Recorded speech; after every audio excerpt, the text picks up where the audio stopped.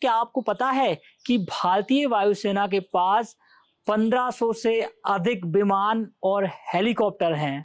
नमस्ते, अगर आप भोपाल में हैं तो आपको अपने ऊपर से निकलने वाले विमानों की आवाज़ तो आने ही लगी होगी। लेकिन क्या आपको जानकारी है कि यहाँ जल्दी ही एयर शो होने वाला है?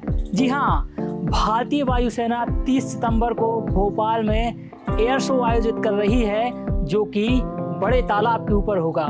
यह एयर शो भारतीय वायुसेना की स्थापना दिवस के उपलक्ष्य में आयोजित किया जा रहा है और इस एयर शो में भारतीय वायुसेना के लड़ाकू विमान, बम वर्षक और हेलीकॉप्टरों का प्रदर्शन किया जाएगा।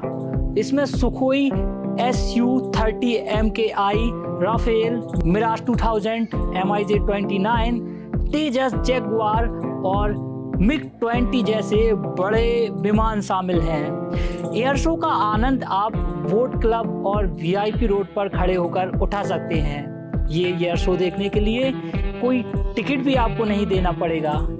एयर शो की तैयारियाँ जोरों शोरों से चल रही हैं और जो विमान आपके ऊपर से निकल रहे हैं, ये उसी एयर शो को यादगार बनाने के लिए तैयारी कर रहे हैं।